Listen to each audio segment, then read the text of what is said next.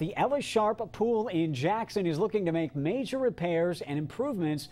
The proposed upgrades are estimated to cost two to three million dollars. Suggested improvements include two water slides, a lazy river, and a concession stand.